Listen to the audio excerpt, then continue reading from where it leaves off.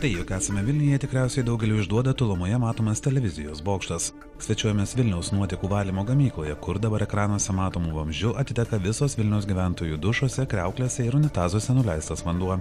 Iš čia keliauja 1100 km ilgio po Vilniumi išsirangiusiais vamzdžiais. Vanduo čia patenka su visais maisto likučiais, plaukais, kavos tirščiais. Nuotekų valymo specialistai pasakoja, kad išradingumo Vilniečiams netrūksta, jie čia randa ir įvairių šiukšlių, panaudotų sauskelnių, švirkštų, žiedų, piniginių ar net padangų. O dabar ekranuose matote 98 procentais švaresnį vandenį, kuris išvalytas šioje gamykloje išleidžiamas į Neries upę. Tiek putų čia susidaro dėl to, kad gyventojai naudoja skalbimo ir indų plovimo priemonės, kurių sudėtyje esančių cheminių medžiagų valymo įrenginiai iki galo nesugeba išvalyti. O kokį kelią nuteka vanduo, kol išvalytas atsiduria upėje. Kartu su Vilniaus vandenų nuotekų valymo departamento direktoriumi Andriumi Zananavičiumi ir keliaujame šiuo keliu, kurį nuteka valomas vanduo patekęs į šią 60 hektarų plotę esančią gamyklą. Tai Vilniaus miesto nuotekų valykloje yra valomos viso miesto nuotekos, kurios atiteka, e, sakysim, savitekiniais tinklais. Pati valykla turi dvi pagrindinės grandys, tai yra mechaninis valymas ir biologinis valymas. Mechaniniam valyme yra, e, reiškia, nuotekos atskiriamos nuo e, stambių nešmenų, nuskaidinamas, o biologiniam valyme yra išskaidomi teršalai ir mes išleidžiam į upę jau išvalytas nuotekas. Pirmiausia, nuotekos pumpuojamos į valyklą, prieimimo kameroje jos prateka pro metalinės strypinės grotas, kuriuose sulaikomos stambiausios atlikos nuogrebos. Šios nuogrebos vėliau keliauja į savartyną, kasdien Vilniaus valykloje sulaikomos apie 5 tonos atliekų ir dar 3 tonos mėlio. Valyklos darbuotojai pagal nuogrebas pastebi ir pasikeitusius metų laikus. Rudenį didžiausią jų dalį sudaro grybai ir daržovės, kalėdinių laikotarpių mandarinų žievelės, o apie pavasarį kartais praneša jau minėtos automobilių padangos. Toliau nuotekos patenka į smelegaudės, kuriuose sulaikomas juose esantis smėlis. Sulaikytas smėlis iš smėliagaudžių šalinamas, plaunamas ir išvežamas kompostavimui. Vėliau išvalytas vanduo atkeliauja į šiuos sesdintuvus su konusiniu dugnu ir čia jis išbūna apie 1 val. ir 15 minučių. Vanduo nusodinamas arba kitaip sakant, vanduo veikdamas gravitacijos nuteka, o apačioje lieka dumblas.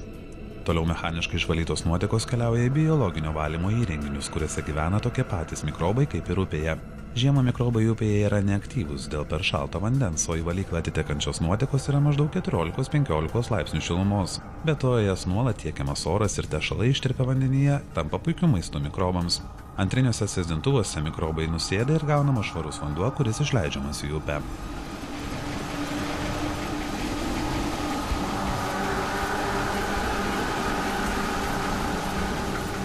Nuotekų valymo procese sulaikytas pirminis ir perteklinis dumblas patenka į nuotekų valyklos teritorijoje esančius dumblo apdirbimo įrenginius.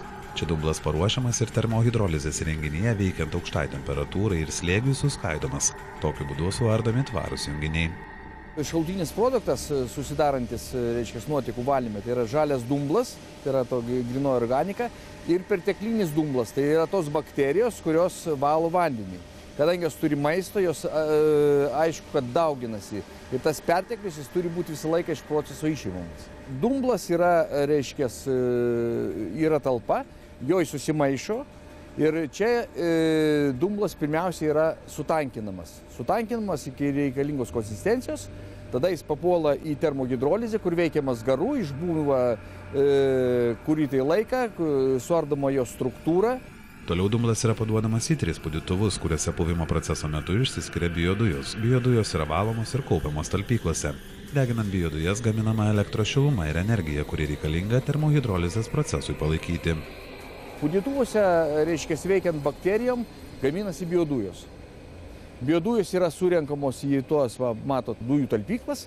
Toliau e, iš tų dujų talpyklų, reiškia, dujos yra e, naudojamos elektros gamybai, ir te, pačio technologinio proceso termohidrolizės nu, palaikymui. Ta prasme, gaminama šiluma, kuri reikalinga, reiškia, palaikyti procesą.